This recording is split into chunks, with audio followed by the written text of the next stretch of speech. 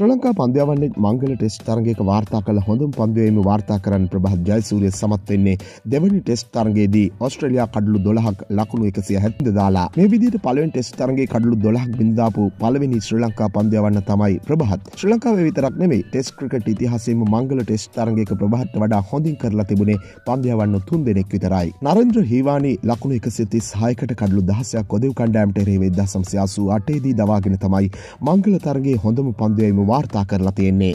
ඉට පස්සේනේ දසම්සේ හැත්තෑ දෙකේදී ලකුණු එක සෙතිස් හතකට කඩලු දා හතක් බිඳාපු රොබට් ආනෝල්් මේ ඔස්ට්‍රලයා ක්‍රඩකයා එංගලන්ත කණ්ඩෑම්ට එරෙහිව මේ දක්ෂතාවය පෙන්න්නේ ලකුණු එකසේ දෙකට කඩලු දොලාක් මංගලතරගේ බින්දාපු ෆෙඩරික් මාටින් තමයි මේ වාර්තාවේ තුන්ගනි තැනන්නේ මේ එංගලන්ත පන්දයවන්න එදස් අටසේ අනුවේදී ඔස්ට්‍රලයා කණ්ඩෑම්ට එරෙහිව තමයි මේ දක්ෂතාවය පෙන්වන්නේ. මේ විදියට දශක ගණන් සියවස් ගණන් පරණ දක්ෂතා සහිත වාර්තාවක තමයි හතරවින් තැන්ට එන්න ප්‍රභාත් සමත් වෙන්නේ ඒ වගේම ශ්‍ර ලංකා පන්දයවන්නේ ඔස්ට්‍රලයා කණ්ඩෑමට එරෙහි වාර්තා කළ හොඳම පන්දුවයි මාතර දෙවැනි තැන්ටත් ප්‍රභහත් පත් වෙනවා. දෙදස් දාසේදී ලකුණු එකසේ තිස් තුනකට කඩලු දහතුනක් දවාගෙන රංගන තමයි මේ වාර්තාවට හිමිකම් කියන්නේ.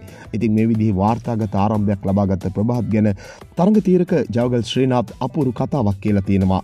ඔහු කියලා තියන්නේ ප්‍රභාත්ගේ පන්දුවයිම ප්‍රවීණ ඉන්දිය ක්‍රඩක විශන්සින් වේඩිගේ පන්දුවීමට සමානයි කියලා. පළොම් පෙළ කඩලු එක්දස් පන්සිය හැටක් බිඳදාපු බේඩ් ඉන්දියාව වෙනුවෙන් ටෙස් තරගවල කඩලු දෙසිය හැට හයක් බිඳදා පන්දු යවන්නෙක් ඇති මේ වගේ දක්ෂයක් එක්ක ප්‍රභාත් සමාන කිරීම ඇත්තටම ප්‍රභාත්ට ලොකු ගෞරවයක්. මෙන් වීඩියෝ දෙන පතා බලන්න අපත් සමග එකතුවන්න ඔබ තවමුත් අපේ චන්ලක සබස්ක්‍රයිබ් කල නැත්තම් දැම් අපිය සබස්ක්‍රයිබ් කරන්නත් ක්‍රිකට්වලට කැමති ඔබ යහලිකුට බලන්න.